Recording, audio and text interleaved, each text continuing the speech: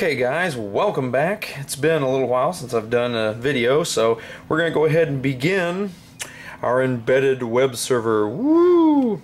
So I've got the dev board, in fact, uh, you know, that I showed you uh, in one of my videos, uh, the development tools uh, starter board. This is the this is the PicDem, or yeah, the PicDem2.net kit is what this is. Yeah, PicDem2.net kit. And what it's for is it's for um, working on uh, embedded web servers. So it's got an LCD screen. Um, it's got uh, two different um, RJ45s, and what that's for is that the the microcontroller that's on here um, has an embedded uh, TCP/IP transceiver already in it, as well as they have another one. I believe I believe that's it. Maybe maybe not. I don't know, I'd have to look at the board. It's kind of hard looking at it through the camera. I'd have to get my face down there to see the the actual package markings. But basically, there's another chip on here that's one of the external uh, uh, controllers, TCP/IP controllers. So they've got basically two ways of doing it. You can uh, hook this one up, and then this one is the uh, external one. This goes to a chip that then the chip then goes through, I think, SPI or SPI um, to uh, to the micro to the microcontroller, or you can plug into this one, which is using the microcontroller's onboard uh, TCP/IP uh, hardware. So anyway, it's got some LEDs, um, it's got a pot to play with, some buttons to play with, even kind of like a little breadboard area right here. I know I've kind of gone, gone over this in the uh, previous videos, so I'm not going to go too in depth on what's actually on here. Uh, if you want to know what actually is on here, then you can check with another video. Anyway, um, we're going to go ahead and power it up. got me a little 9 volt power connector here. And honestly um, I, I, looked into it actually I, I, I, take that back. This is actually a 12 volt connection. It says 9 volts on here but when you look up this regulator this regulator is a uh, National Instruments regulator which um, or National Semiconductor sorry not National Instruments I keep getting that mixed up. National Semiconductor part it's an LM2940CS which has a maximum voltage of 45 volts so um, yeah, you it can take quite a bit. So I'm going to use a, a 12 volt supply, and everything should be should be fine. So I'm to go ahead and plug it in. All right, so we've got. Let me see if I can zoom in here. We got some LEDs going on here. We've got uh, looks like a power indicator LED right here that's on. We also have an LED that's flashing right now. These are some of the ones that are programmable. We got one slide. Then we also have it says TCP stack version 5.31.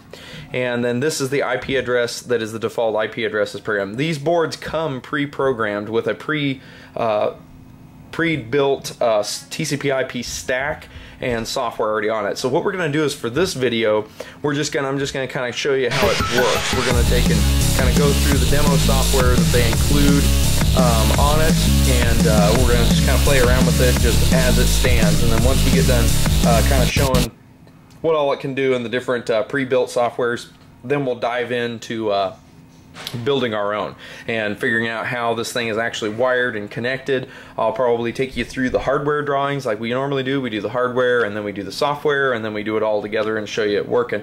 So that's kind of the ways it's going to be. This is going to be quite a few uh, day series that we're going to probably be doing because uh, there's a lot to these, especially with embedded web servers. There's a lot to them. Um, setting up all the TCP/IP stack is is kind of involved. There's a, there's a lot of things to do, and there's a lot of sifting. If anybody's ever cracked one of those open, the TCP/IP stack has a lot of generic code, and what I mean by that is it'll work for many. There's many different processors uh, or microcontrollers that have the TCP/IP hardware in them as well as external devices. And so they have basically in their tool set they've made just where it'll it's universal. You can use you can use many many different microcontrollers with it. Whereas we'll probably be trimming all that out and uh, tailor it to to what specific chip that we're using which in my case otherwise I uh, I'm going to use this one which I'd have to I'd have to create a new board and everything. That's why I had uh, got with uh, Arrow Electronics and had them help me out with uh, with uh, basically procuring one of these boards because these these dev kits are great. Those of you that have never played with a dev kit, these are great uh, tools to, to experiment and play on because like I said they give you some LEDs to play with some buttons. All of this is just basically GPIO con connected to the to the processor and you can just program it any way you want play with stuff. And then micro, microchip does this PICtail thing which is this little header right here this is their um, PICtail uh, is what they call it. They make other little like daughter card boards that will plug into here that then it brings it into the process and you can program like let's say LCD screens or different sensors or kind of like kind of like on when I when we did the Raspberry Pi, you know how the Raspberry Pi has that header and they make all kinds of different things for it. Well, usually most all um, microchip dev kits that I've seen are now starting to come out with this this PICtail uh, connection, which which allows you to connect even more external devices uh, to it. So that way you don't, if, if you're wanting to really do web-based stuff, and then you want to do maybe an LCD screen with it, and maybe some other things, you have this little board that they're all kind of universally the same. So uh, as you move on to different dev kits and things, you can still, you know, uh, plug in different, you know, you can still use your same stuff that you've used before. You don't have to keep buying new uh, equipment that's the same thing but has different connectors on it. They, they're trying to standardize here. So that's kind of nice. That's kind of a cool deal. We may play with something like that. I may see if I can't get maybe one of the LCD boards or something and we'll do an LCD series later or something. Anyway, that pretty much does it for the hardware. So we know what this is. It's 169.254.1.1. So what we're going to do now is we're going to head on over to the computer and we'll uh, check out uh, some of the software and we'll actually log into this thing and see what kind of web page they've got for us and what kind of stuff we can play with. So I'll be back in just a second. Okay guys, we're now at the uh, computer side of things. What we're going to do now is we're going to have to reset our uh, network connections to work with this new board. So to do that, you're going to, if you have Windows 7, you're going to go into the network and internet, uh, basically control panel item, go into network connections, and then you're going to right click on your network connection and choose properties. So now once we get into properties, let's let that get up. All right, we're going to go down to uh, TCP IP version 4. We're not using version 6 yet, so version 4, properties. Now I'm going to basically clear everything out here because I'm going to reset this. So now the IP address that we had off of it was, I'm going to go check real quick. Okay, so we've got 169.254, oops, 254. Okay, 254, my, my bad, 254. And then it was dot one, dot one, so we're gonna do, whoops, didn't mean to hit tab. We're gonna do dot two, why not?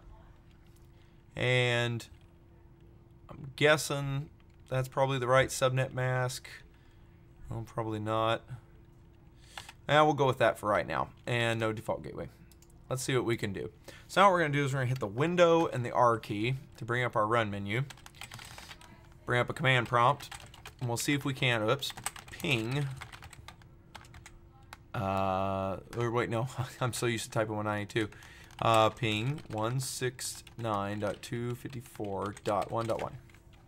And it looks like we can. We can ping it. So, hooray. Hope, hopefully you guys can see that. I wish I wish I could make this. I don't know how to make this bigger. Uh, I don't know. Basically, I just pinged it. Which uh, uh those of you that don't know how to ping, you just type ping p i n g and then the uh, the actual uh, IP address you're wanting to ping. And as long as you get some replies from it, which I got, I sent out four packets, got four replies back. You're good to go. So that means that we're good to go. So now what we need is our wonderful web browser. And we're to type that in 169.254.1.1. And there we go. so here is the web page. I am now talking directly to the web page that is um, that's on the microcontroller. So this web page is actually uh, on there. So now here's what we can do. We can actually click these different buttons and we'll get some LEDs. So I'm going to zoom in here so you guys can really see this.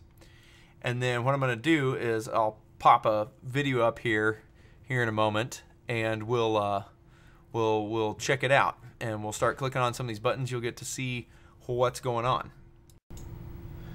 Okay, hopefully you guys can hear me. I'm going to see if I can't maybe move the microphone a little bit closer to me. I'm kind of across the room because I'm doing the uh, I'm uh, sitting over here pushing buttons on the device. All right, I'm going to go ahead and I'm going to click on one of the other LEDs. So I'm gonna click on that, and as you can see, the the LED done it came on right here. And I think if you click it again, I think it starts flashing. Well, maybe not. Okay. Well, anyway, I can turn LEDs on, as you can see, as I click. And the same thing with um, the buttons. If you want to watch the uh, the buttons there, when I push a button, see how I'm pushing the buttons, and you see it change on the screen. So this is all happening in live. It's it's live happening uh, on the chip. And then there's a potentiometer that's right here, and I can change its value. Can you see that? See that changing?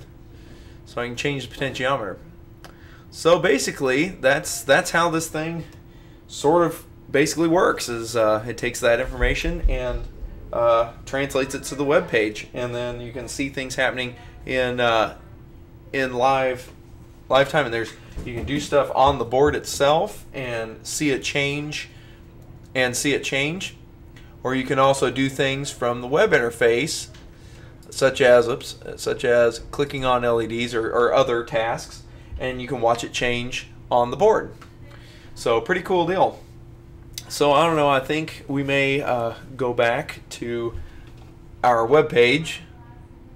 Okay. Also, we've got uh, uh, many other things on the side. There's a lot of different things. There's form processing that will tell you how to do, uh, how to accept data, yeah, from other users, and you can create forms and all kinds of other things. There's ways of working with cookies and this. Uh, you, you, can make it where this thing will send email, build up a message, and then it'll email it out uh, your SMTP server wherever, and authenticate and send emails. You can make it uh, do dynamic DNS where uh, it'll do dynamic DNS updates, you know, where it'll update uh, DynDNS or one of those uh, dynamic DNS services. It'll update, give updates to them. Um, it has a lot of really cool like SNMP configuration, which looks like it needs a password for. Oh, that's fun. And uh, network configuration that needs a password for, which I don't know. I'd have to look at my documentation. Dynamic variables. Looks like there's a lot of cool different things that you can use in, with this guy. Um, we'll probably maybe do some other videos uh, showing, showcasing how these these things work. But for now, we're just doing a, a brief overview as the this tab shows the overview of how it works and seeing that we can actually get to the GPIO uh, from uh, the web interface here, which is kind of the thing that I want the most. That's what we're seeing, you know, when you see those those uh, those videos on like uh, make controlling your thermostat or whatever. And in fact, I did uh, some stuff using the WebIO Pi stuff for the Raspberry Pi. If you haven't seen those videos, check those out. They're pretty cool uh, using a Raspberry Pi. What we're going to be doing now is we're going to be doing a little bit more in depth. Like I'm going to show you how to actually using microchips um, solutions. They're uh, ENC, I think, uh, solutions for uh, the embedded web server. I'm going to show you how to make your own custom uh, hardware and software for a specific uh, embedded web server uh, solution. So essentially, you don't have to go buy the uh, the Raspberry Pi and have all this other functionality. Uh, that you're not going to use because you just want to use it for a web-based thing. Well, with this, you can create your own custom web-based uh, solution that maybe doesn't may only cost like fifteen dollars, you know, to to produce instead of costing the forty five, and then you get all this stuff that you're not going to use, you know. So you basically basically make it very specific to you, and that's what we're going to be looking at in the rest of these demos and uh, how to actually hardware implement this as well as uh, build software for it. So We'll be taking a look at that over the next few days, so exciting stuff. Um, it, things are quite busy in my life right now, so we'll have to see. I'm going to try to post videos in a timely manner, but if they start getting spread out, bear with me. I'm still here. I haven't gone anywhere. Uh, I still answer all my uh, PMs as much as I can, as well as uh, any comments, questions, anything like that that you have. Uh, thank you very much for all the questions in the comments. It's been great. I've helped quite a few people. Quite a few people help me, so it's been great. So continue those to flow in. Keep watching, and we'll see you next time. And after that, that ought to do it. Take care.